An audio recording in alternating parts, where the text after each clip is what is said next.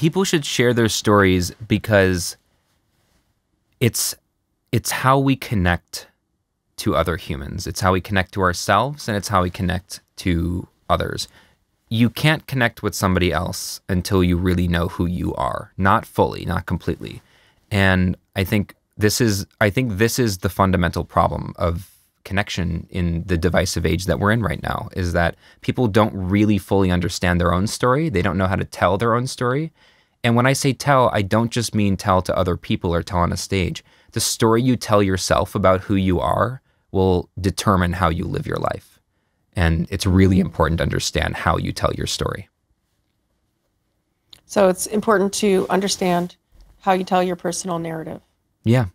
Yeah, because the the the story you there's so many people that tell themselves the story I'm not good enough, I'm not worthy, I don't deserve this opportunity, you know, you're never going to be happy, you know, that little voice at the back of our head all day every day that just mm-hmm. like chatters away.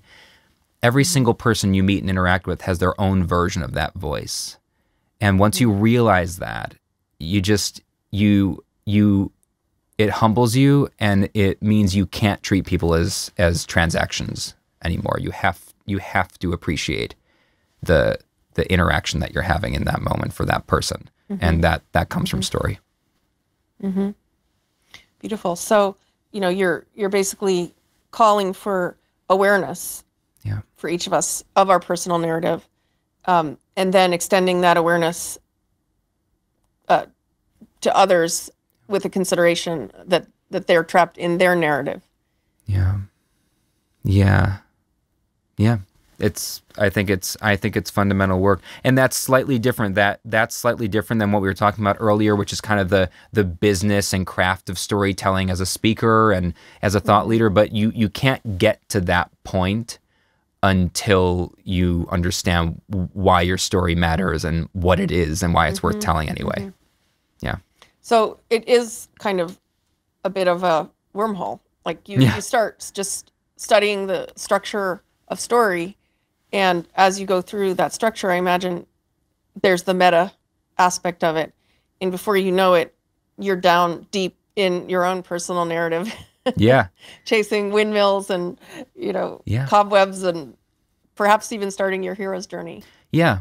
And then and then once you believe that your story it, once you know what your story is and you and you believe that it's worth telling, then the science and the psychology and the craft of storytelling matter because you still just because you know your story and you believe it's worth telling doesn't mean it it doesn't mean you automatically engage and excite an audience. It obviously doesn't. You can you can tell a story, you can tell a good story very badly, and you can tell a bad story very well you know, and and I more goodly. yeah, and more goodly. yeah, exactly. Uh, and th- and this goes back to to a lot of what I learned in magic, which was there was a there's always a debate in magic: are there actually any bad magic tricks, or are there just magic tricks done badly?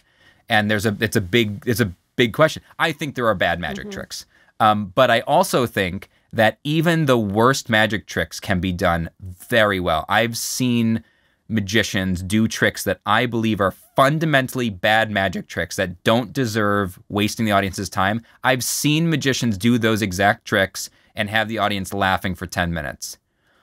I don't well, think it was a very magic. yeah.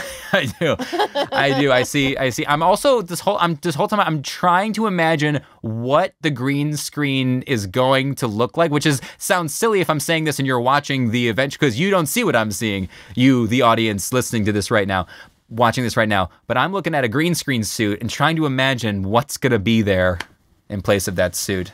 I'm excited. It'll be a nice surprise. Well, I have to put my beard on and stroke my beard for a second. you will find out. Very good. Very good. That was very intriguing. Yes. We, we should gift that. I need that as a gift to send to other people. It can be arranged. so, taking us back, you just said that it's important to know what your story is. Then it's important to know that your story is worth telling.